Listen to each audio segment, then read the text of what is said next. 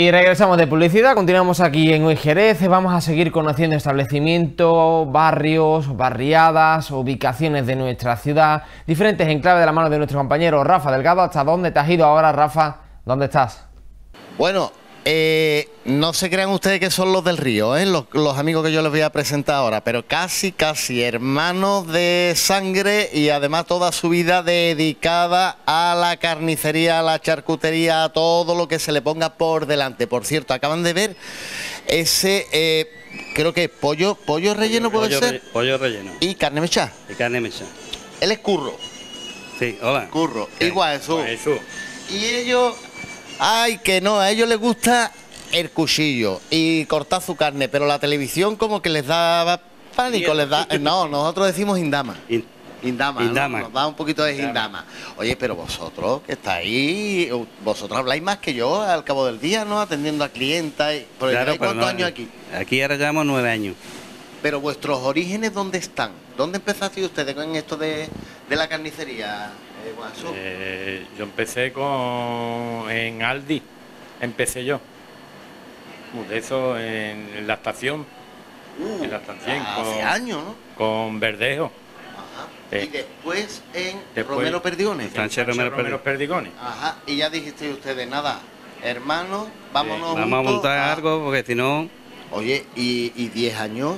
Diez añitos. Diez añitos llevamos y, de aquí. y cuando, les puedo yo decir, todo el mundo de aquí, de aquí de la, de la Sin Hueso, habla maravilla de Curro y Jesús, esta carnicería que encontramos. Para que ustedes se hagan una idea, avenida eh, eh, Rafa Verdú y esta plaza, ¿cómo se llama? Que el nombre es cortito. José de María López Campúa. José de María López Campúa. Bueno, pues aquí tienen ustedes un auténtico paraíso de la carne, de la calidad y del buen servicio. Vamos a ver la vitrina y yo quiero que me contéis un poquito qué cositas tenemos aquí para ahora que llega la Nochebuena, la- el fin de año, Pues nada, tenemos el, el pavo, presidiendo la vitrina el pavo. el pavo que no puede faltar todos los años. Ese pavo no ha estado a dieta. No, No, no, este, no. este tiene que pesar al menos 7 kilos. Eso es una maravilla de pavo. ¿eh? Sí, bueno, la verdad que sí, muy bueno, muy buen material. Y tenemos también unos pollitos estos camperos, amarillos. Y después ya su ternerita, su, su lomo, su solomillito, su presita y chuletita ibérica, lagartito. Oye, Tenemos variedad. Y sobre todo, sobre todo lo que veíamos al principio, eh, Juan Jesús, mm, que vosotros mismos preparáis, elaboráis las carnes a gusto de- del consumidor. Del, del consumidor, sí. Lo, como la quiera, se la hacemos. Si la quiere rellena de jamón, de queso, de como quiera, Ajá, se le hace. huevo duro, se Tu hace huevo duro, tus piñones, como ella la pida. Qué bueno. Esto Sí. me imagino que es por encargo, ¿no? Por encargo. Sí, sí, por encargo. ¿Con cuánta antelación más o menos hay que No, un día antes. Con un día antes nada más, Un no día hace antes. falta. ¿Y dónde hay, que, dónde hay que llamar? A 618, 60. Ay, ay, que se lo sabe de memoria. Pero dilo despacito para que dé tiempo a los amigos y amigas que nos están viendo de anotar teléfono. A ver, tele- hombre, si tenemos aquí, además, vienen ustedes aquí y les regalan el almanaque ¿eh? del 2023, que a ver si entramos con buen pie. ¿eh? Carnicería, charcutería, precocinado, curro y Juan Jesús. Y estos son los teléfonos, ¿verdad? Los teléfonos de y el de los pedidos, da igual, cualquiera de los tres. que quiera. De los tres. Ya, pues Está quédense- disponible venga, siempre. Anótenlo ustedes ahí, ¿eh? Los teléfonos de Curro de Juan Jesús y el del local. Y yo ahora si os dijera, a ver, de uno en uno. Curro, ¿tú qué pondrías en, la, en el almuerzo, por ejemplo, de Navidad? De aquí, de aquí, de vuestra carnicería. El ¿Tú, pavo. tú- tú cocinas en casa? No, mi mujer. Ni tú, tú pasas por la cocina como yo, para pa, Pa- pa picotear. Ahí ¿eh? está. Pero tú qué pondrías? Yo el pavito. El pavo Que no puede faltar, claro. El pavo es lo suyo, ¿no? Sí. Pavo, un pollito de campo. Ajá. Eso es que es tradicional. ¿Se han fijado ustedes que el pollo de campo tiene diferente color del pollo tradicional? Eso es por el pienso, me imagino. Yo creo que por sí, el pienso. por el pienso que come. Pero donde va un pollo de campo No, tiene más gelatina que el otro. Y la cosura que La tiene. grosura. tiene muchas cositas. Y luego, si nos vamos a este lateral, veni- vénganse, vénganse por aquí, porque aquí también ellos pues tienen auténticas maravillas, para todos los gustos, porque Yo no he visto nunca tanta variedad de hamburguesa. Aquí hay eh, hamburguesa. No, pues falta todavía la de ¿Que hay verdura. Sí, También. Bueno, falta de verdura. Aquella no es la de. Ah, no, aquella, de espinaca. Falta de verduras naturales. A ver, hamburguesa de pinchito. Ole. Esta es Hamburguesa de pollo. de pollo para los que están a dieta. Hamburguesa mixta. eh, bueno, una variedad increíble. Y luego también precocinados. Sí. ¿eh? O sea, que prácticamente todo lo que es. Ah, y la hamburguesa de, de ternera Argentina. tipo argentina, ¿eh? La- esas de la gordita, las que me gusta a mí. ¿eh? Prácticamente lo tenemos todo aquí de cara a, la- a las navidades, ¿no? No hay que dar muchas vueltas, Juan Jesús. Aquí puedes buscarte lo que quieras. Croqueta de espinaca, croqueta de jamón serrano y croqueta de puchero también. ¿eh? Tus nuggets, albóndigas, lagrimita, lo que, lo que quieras. Lo que se nos apetezca, Lo que- amigos, lo, lo tenemos aquí en una eh, carnicería que, mm, bueno, de experiencia anda sobrada porque estuvieron muchos años y siguen estando al pie del cañón sirviendo lo mejor de, en lo que es servicio, calidad, asesoramiento, porque ellos, mm, ustedes vienen, ay, ¿qué hago? que Ellos les dicen por dónde tirar, aunque luego en casa ninguno de los dos hagan nada. Ay. ¿Cierto? Sí, nada ¿Eh? más que comer. que ahora mismo las señoras estarán diciendo, verdad, Mm, no mueve ni un dedo. Oye, eh, lo bonito de todo esto es que esta carnicería, la carnicería de Curro y Juan Jesús, es una carnicería también con un corazón tremendo. Y ellos no han dudado en sumarse a nuestra bonita campaña, Empresas con Corazón. Hay que ayudar, hay que estar también con los que más lo necesitan, Sí. ¿verdad? Hay mucha gente que están pasando mal. Como tú ahora. ¿eh? ya se te han quitado los nervios, ¿no? Un poquito, un poquito. Claro que Ya sí, un poquito. claro que sí. Que eh, a mí me gustaría, eh, Juan Jesús, ¿qué felicitación le podríamos dar a todos los amigos y amigas, a tantísimos clientes que vienen por aquí, por esta carnicería diariamente? Esa felicitación navideña, ¿qué le- ¿tú qué les dirías? Que felices fiestas y que lo Pero no pasaran. me lo diga a mí, díselo a ellos. Felices fiestas y que lo pasaran todo lo mejor posible. Y el 2023 Y el que venga. 2023 que venga, a ver si puede venir un poquito mejor. Una mitad. Una mitad. Y que el Putin se quede ya quietecito. Ahí está, Ah, efectivamente. Ya está bien, Putin, ya está bien. Ah, le tengo una tirria. ¿Y tú qué le dirías? Nada, que no haya males y que vaya todo muy bien y que vengan a comprar, claro. Que vengan aquí, que es su casa, su carnicería, su lugar de confianza, donde van a encontrar lo mejor de lo mejor y sobre todo van a encontrar buenas personas, buenos, buenos amigos y grandes profesionales, como mi amigo eh, Juan Jesús y Curro. A los dos, muchísimas gracias. Gracias. Muchas gracias y ya lo han visto, queridos amigos, la solución para estas navidades aquí en Carnicería, Curro y Juan Jesús.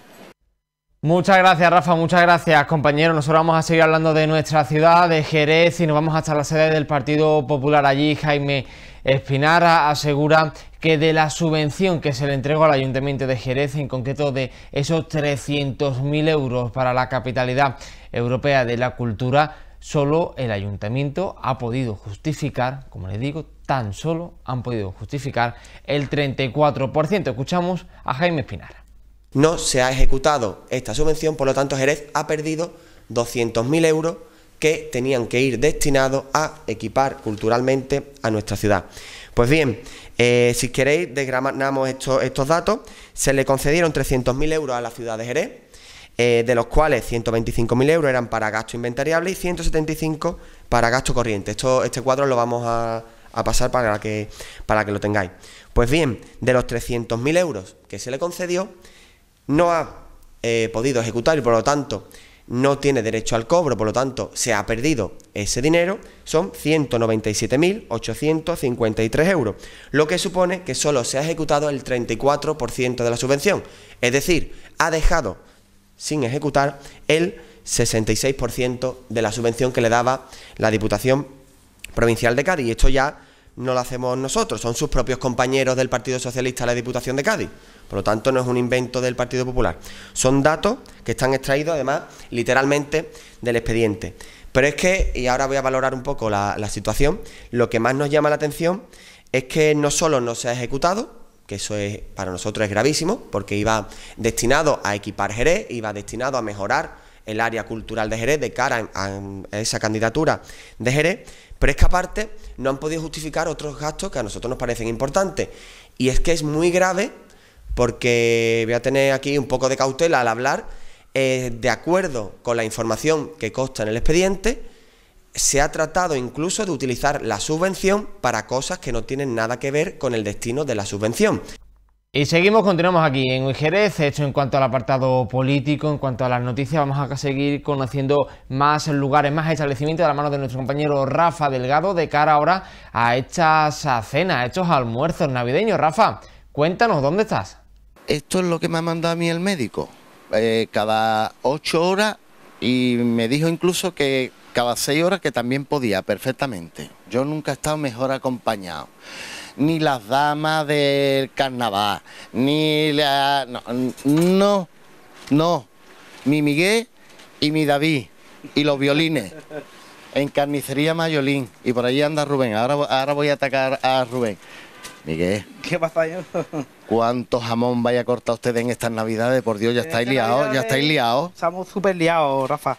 Y la verdad, vamos, súper a gusto porque es lo que nos gusta hacer y aparte bienvenido sea todo el trabajo que venga. Porque además estamos hablando, estoy en la avenida Voltaire, frente a Hipercor, pero si tenemos que hablar de jamón, tenemos que hablar de carnicería Mayolín.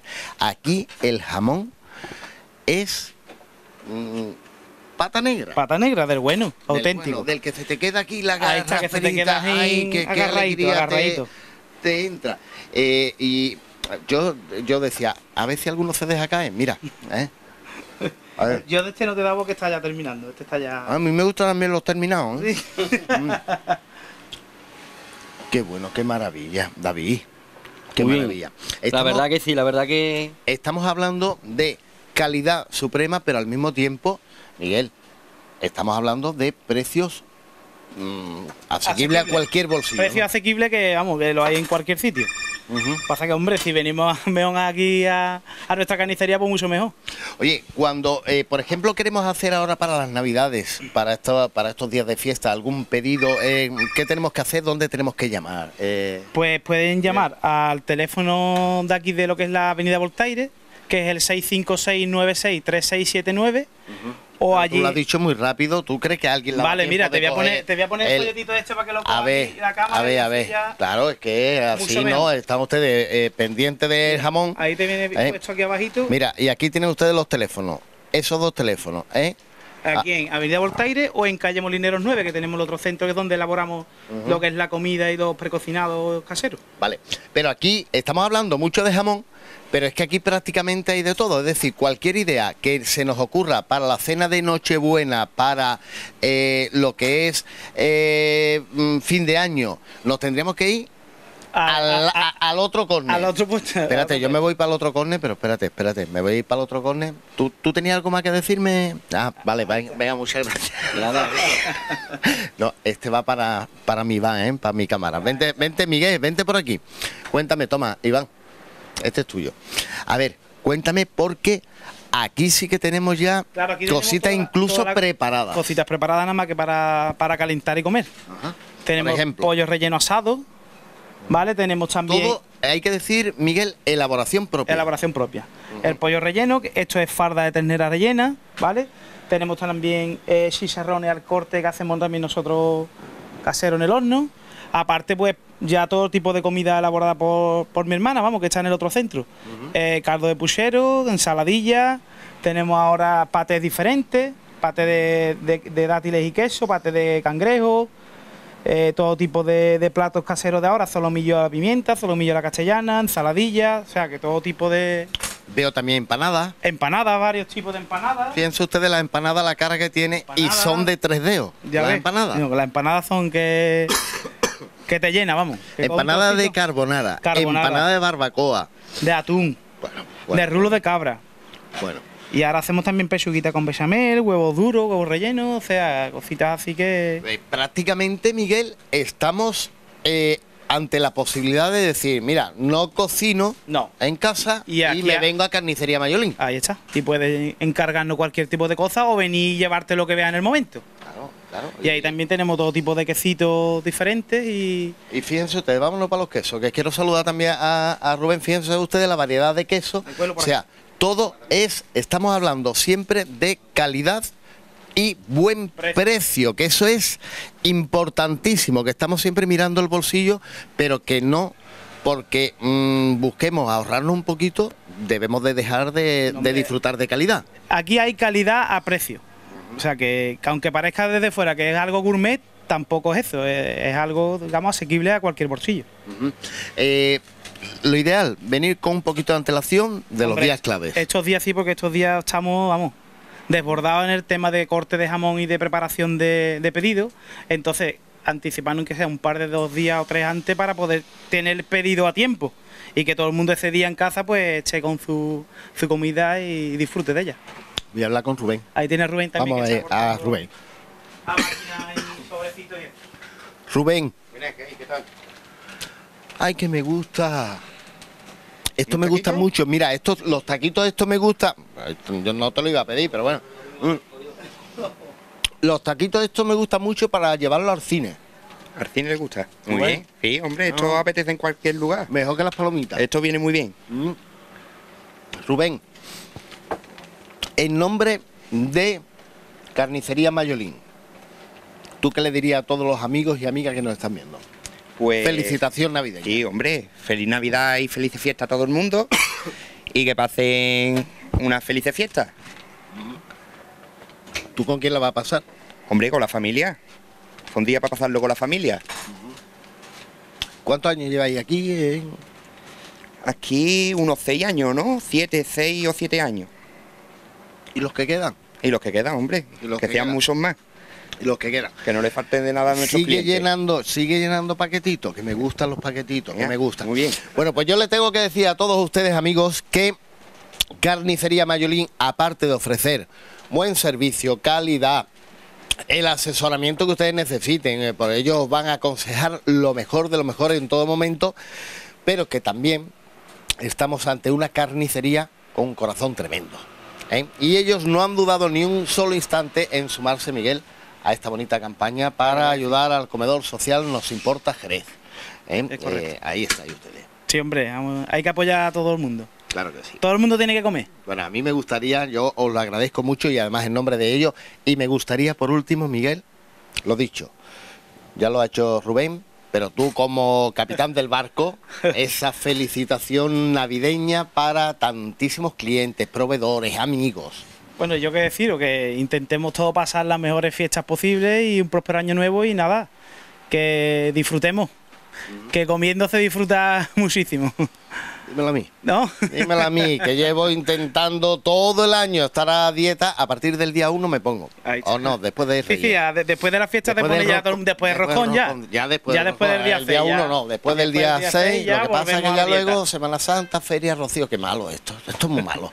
Siempre Amigo, que lo mejor de lo mejor y los mejores violines, ¿eh? aquí los toca David y, y Miguel, artistas, muchísimas gracias. Gracias, Rafa, venga. ¿Eh? Y menudo santuario tienen aquí detrás. Anda que no, anda que no.